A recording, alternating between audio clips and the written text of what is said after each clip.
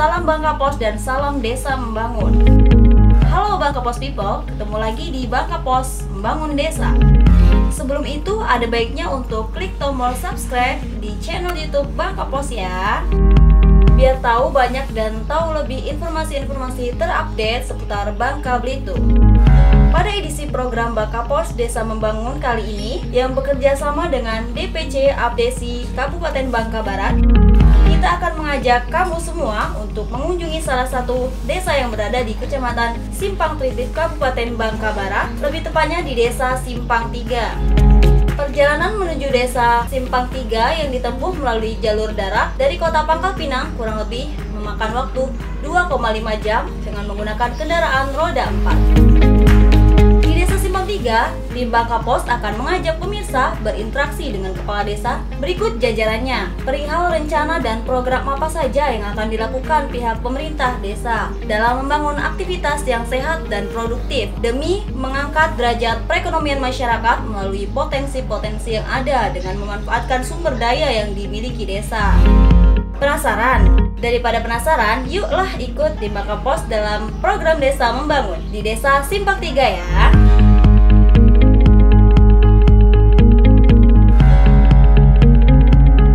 Assalamualaikum warahmatullahi wabarakatuh. Selamat datang di Desa Sipang 3 Kecamatan Mantritip, Kabupaten Bangka Barat Untuk seluruh pemirsa Bangka Pos. Perkenalkan saya Sarto Joyo selaku Kepala Desa Simpang 3 Kecamatan Mantritip, Kabupaten Bangka Barat Provinsi Kepulauan Bangka Belitung. Secara administratif Desa Simpang 3 terdiri dari dua dusun Yang bernama Dusun 1 dan Dusun 2 Serta memiliki tujuh rukun tetangga. Desa Sepang Tiga memiliki batas wilayah di antaranya sebelah barat Desa Mayang, sebelah timur Desa Berang, sebelah utara Pelangas, sebelah Simpanggong, Desa Berang, Desa Mayang. Sebelah selatan, Desa Air Meduyung dan Desa Kundi. Jumlah penduduk Desa Simpang Tiga adalah sebanyak 2.130 jiwa yang di antaranya laki-laki 1121 jiwa, perempuan 1009 jiwa dengan total kepala keluarga 600. Secara umum,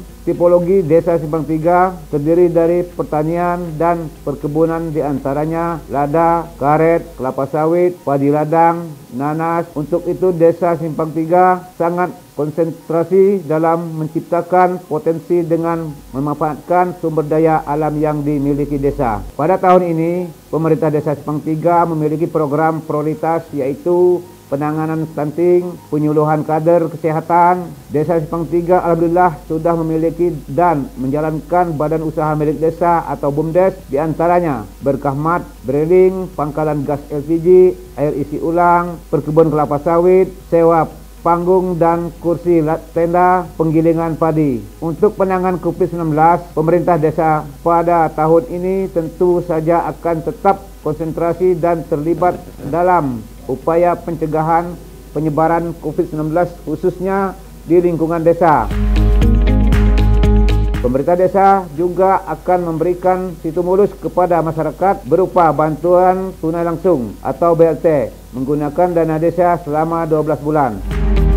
Harapan saya selaku kepala desa pada masyarakat adalah mari kita saling menguatkan komunikasi, komitmen, konsentrasi serta saling bekerja sama dalam membangun desa.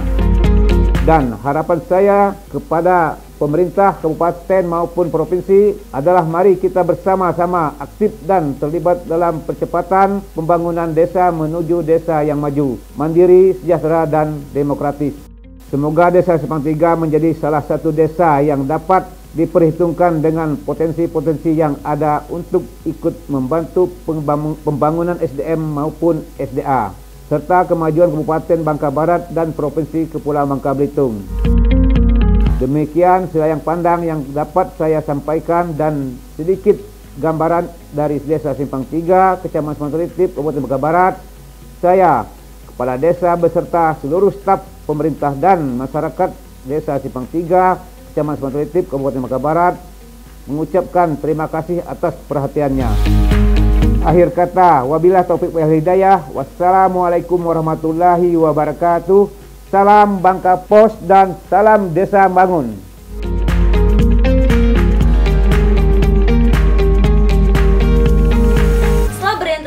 kepala desa, berikut jajarannya, pemerintah desa, tim Bangka Pos berkesempatan langsung untuk melihat aktivitas dari badan usaha milik desa atau BUMDes BUMDes yang mulai beroperasi sejak tahun 2017 ini sampai sekarang sudah memiliki unit-unit usaha yang terus menunjukkan kestabilan progresnya seperti Berkah Mart, pangkalan gas LPG, air minum galon isi ulang, pom bensin mini, budidaya, madu hutan, ataupun pelawan, perkebunan sawit, dan BRI Link. Oleh pemerintah desa, keberadaan BUMDes dirasa sangat memberikan manfaat, terutama bagi masyarakat yang menggunakan gas LPG yang mau mentransfer uang melalui layanan BRI Link isi ulang air minum galon untuk konsumsi sehari-hari, barang-barang kebutuhan sandang pangan yang lengkap di Berkah Mart, hingga pengelolaan madu hutan dan pelawan yang tiap musimnya selalu diburu oleh penikmat madu di dalam dan di luar desa. Melalui BUMDes dan unit-unit usaha yang ada, Diharapkan masyarakat selain mendapatkan manfaatnya, juga dapat ikut serta menjadi agen perubahan perekonomian desa dengan ikut memanfaatkan unit-unit usaha yang ada menjadi sentral produk-produk sandang dan pangan dari dan untuk masyarakat. Assalamualaikum warahmatullahi wabarakatuh. Selamat datang di BUMDes Maju Sejahtera Desa Sepang 3. Ya, kalau kami membentuk BUMDes untuk membentuk struktur kepengurusan itu pada tahun 2016 eh, di bulan September kemudian eh, di situ juga sudah dianggarkan penyertaan modal. Jadi dalam penyertaan modal tahap pertama yang kita mencapai kepada desa 2017 itu memberikan kepada BUMDes ini dengan berbentuk dana dan dana desa yaitu sebesar 157 juta. Jadi dikembangkanlah e, BUMDes ini. Yang pertama itu pengembangan daripada bantuan tersebut tadi yaitu berupa unit-unit uh, termasuk yaitu penggilingan padi tadi, kemudian uh, pom ini, kemudian uh, isi dari ulang.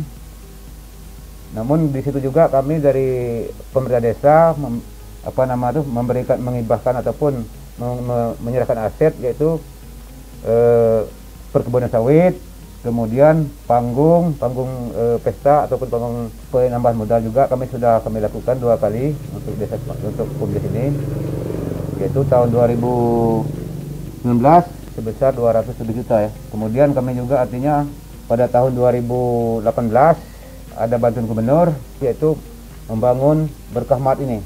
Jadi berkahmat sudah berdiri sudah berjalan selama e, kurang lebih dua tahun lebih. Alhamdulillah artinya dari beberapa unit yang kami dapat yang kami eh, laksanakan sini sudah menghasilkan untuk PAD kita. Ya seperti kita juga kan sekarang ini memang diprioritaskan oleh ataupun ada arahan ataupun ada edaran daripada Bapak Jokowi bahwa untuk peningkatan ekonomi masyarakat itu adalah bergerak di BUMDes inilah.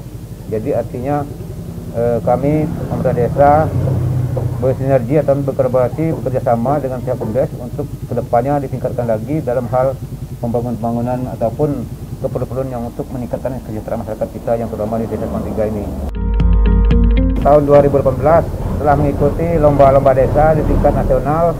Alhamdulillah kita berhasil masuk nominasi nasional yaitu mendapat bonus sebesar 50 juta juga untuk penambahan peningkat modal di BUMDes ini juga. Itulah. Jadi haram kita ajang seperti itu juga ke depannya kita laksanakan. Nah kemudian kemarin juga kita barusan e, minggu kemarin ada MUU kerjasama dengan Pihak Bolok bahwa salah satunya sebagai percontohan Bangka Barat ini ada tiga, tiga bumdes salah satu bumdes desa Semantika yang Mitra untuk kerjasama dengan Bolok untuk sebagai distributor ataupun penyalur e, beras e, dari pihak Bolok tadi.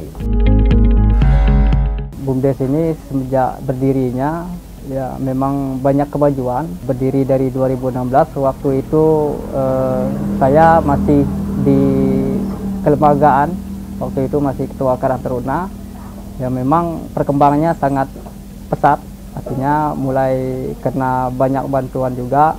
Terutama tadi sudah disampaikan eh, dari eh, pemerintah daerah provinsi dan terutama dari penyertaan modal desa. Terus juga ada bantuan eh, dari pusat juga.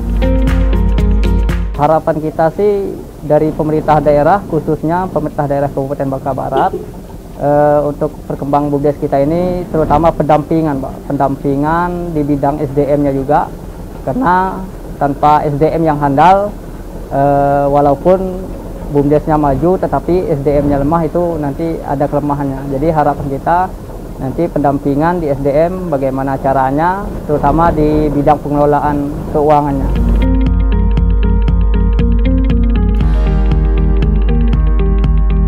Beranjak dari BUMDes, kemudian tim Bangka Pos diajak melihat salah satu lok perkebunan sawit desa, perkebunan lada, dan lokasi padi ladang.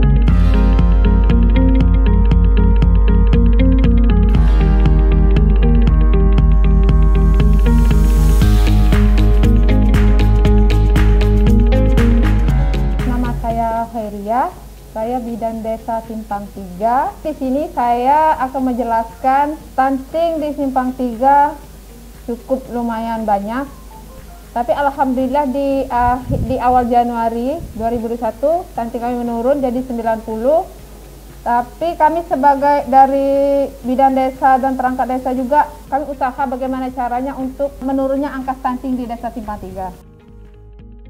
Uh, adapun usaha dari dari pihak kami bidan desa dan de, dari desa juga berusaha keras bagaimana usaha cara mengatasi atau menurunkan angka stunting. Kami mengadakan dari mulai pemberian makanan PMT untuk bayi stunting, terus ada bantuan dari desa, dari kabupaten juga ada pemberian makanan, dari MPRT tambahan dari provinsi juga ada. Kemarin itu melakukan kegiatan masa itu dilakukan oleh dibantu oleh desa kader, eh, kader desa siaga, ibu PKK yang melibatkan masak-masak demo untuk yang bayi yang stunting. Perkenalkan, nama saya Mazuanda.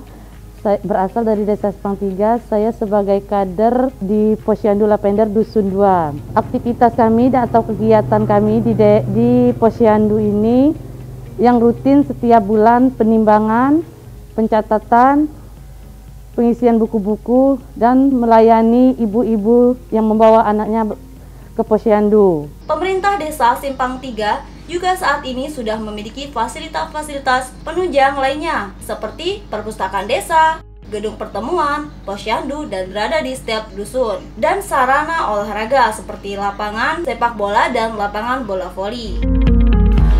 Di Desa Simpang 3, tim Bangka Pos diajak untuk mengunjungi spot tersembunyi yang mungkin oleh para pecinta fotografi bisa dijadikan referensi tempat baru untuk dikunjungi. Nama tempatnya adalah Air Paro. Lokasinya di Dusun 2, Desa Simpang 3.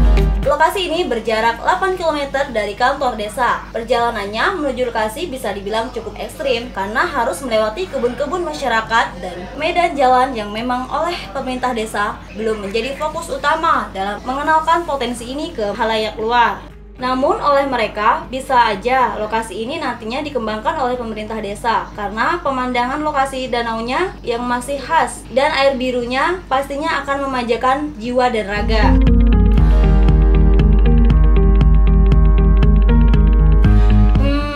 Kita doakan ya, semoga di Desa Simbak 3 nantinya bisa jadi salah satu tujuan tempat wisata danau dan hutan masyarakat Babel ya.